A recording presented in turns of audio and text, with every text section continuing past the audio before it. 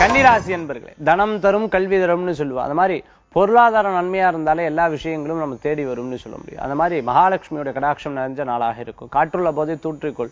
இருக்குன்னு சொல்லி நம்ம சும்மா உட்காந்தோம்னா காரியம் நடக்குமா? கிடையாது. முயற்சி பண்ண நிச்சயம் வெற்றி பெறும். குழந்தைகளுக்கு நல்ல முன்னேற்றம் இருக்கு. அதே மாதிரி பரீட்சைக்காக படிச்சுட்டு இருக்கிறவளுக்கு நல்ல முன்னேற்றம். ஆடிட்டிங்காக லா படிச்சுட்டு இருக்கிறவங்களுக்கு அக்கௌண்ட் சம்பந்தமான விஷயங்கள்லாம் படிச்சுட்டு நல்ல முன்னேற்றம் தரக்கூடியதாக இருக்கும். வெளிநாட்டில் போய் படிக்கணும் என் குழந்தை அப்படின்னு நினைச்சுட்டு இருக்கிறவங்களுக்கு அற்புதமான செய்திகளும் பிறர் மூலமான உதவிகளும் தேடி வரக்கூடியதாக இருக்கும். கன்னிராசி என்பர்களுக்கு வராக்கடன்கள் வந்து தீரும். உங்களுக்கு தேவையான பொருட்களை வாங்கிக் கொள்ளக்கூடியதாகவும் வாங்கின பொருட்களை பயன்படுத்தும் போது மகிழ்ச்சிகரமான தினமாகவும் இந்த தினத்தில் தோணும். அதிர்ஷ்டம் தரக்கூடிய அற்புதமான எண் ஒன்பது நிறம். ராமர் பச்சை வழிபாட்டுக்குண்டான தெய்வம் குலதெய்வ வழிபாடு வெற்றி தரும் அற்புத வழிபாடு கன்னிராசி அன்பர்களே.